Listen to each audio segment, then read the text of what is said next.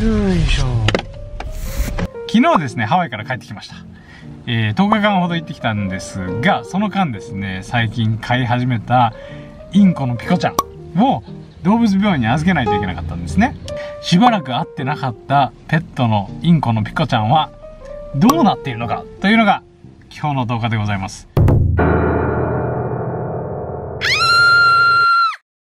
ずっとね家の中ではぐるぐる飛ばしたりしてたんだけど動物病院では10日間まあ、カゴの中でね、基本的に飛ばしたりできないそうなので、もしかしたらストレスが溜まってるんじゃないかとか、凶暴化してるんじゃないかとか、えー、逆にですね、動物病院の中で人が行き来する中でいろんな言葉を実は覚えているんじゃないかとか、どのような状況なのかっていうのを改めて確認しに行こうと思います。あきこさん、どうなると思ってますか？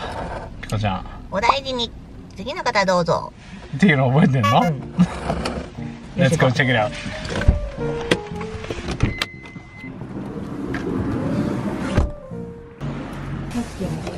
はい、お迎えですね。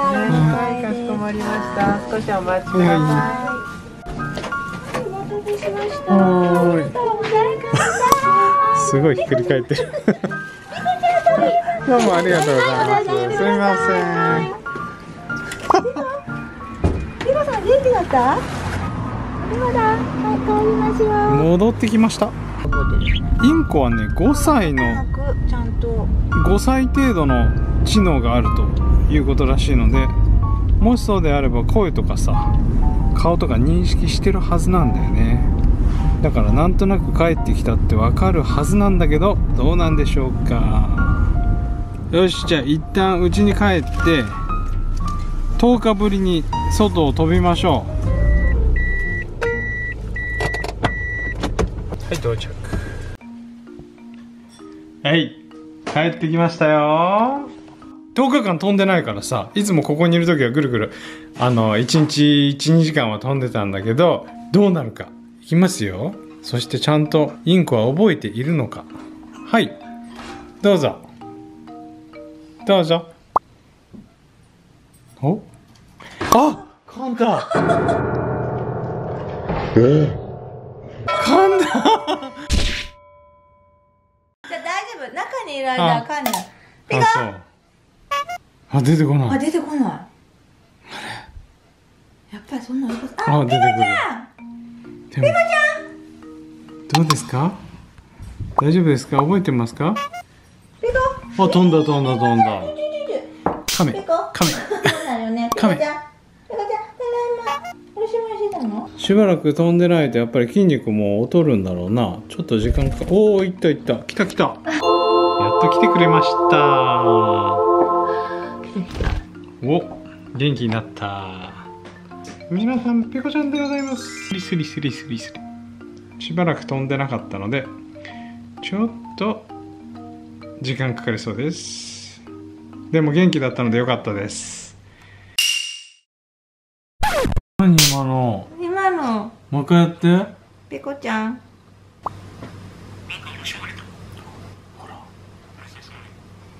ほら。なんかおじさんの声。おじさんの声になってる。ペコちゃん。ほら。喋ってなんか喋ってる。なんとかしてますか？やばい。ほらこれ笑い声だよ。笑い声？先生の、うん、おっさんの笑い声だ。あら。また笑った。いっぱい笑う先生なんだねその先生、え。ー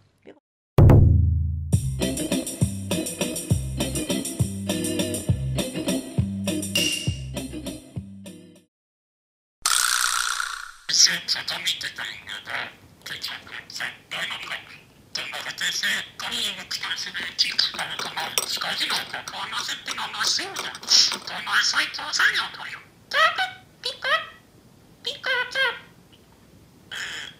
倒れというあカこカとカ緒カ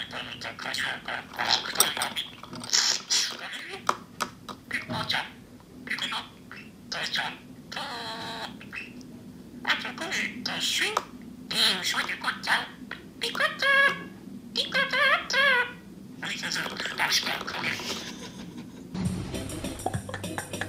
構喋ってたね。喋ってた。あんな喋り方しないんだけどね。しなかったよね。説明してるみたいな。説明してるね。診察してるね。診察してるみたいになってる。ということで衝撃の結果10日間動物病院にインコを預けると飛ぶのが下手になった上に先生の声。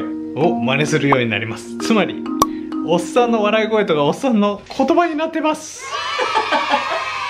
っくりした。